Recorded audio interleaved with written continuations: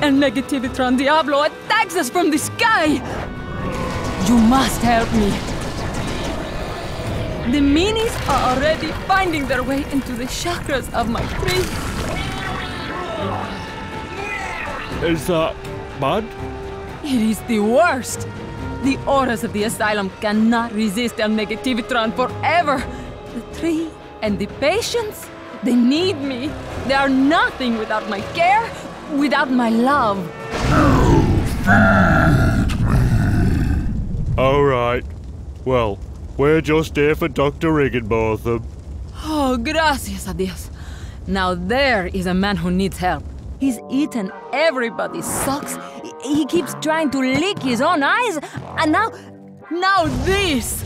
You'll have to help me first if you want him. It will make you so warm and glowy.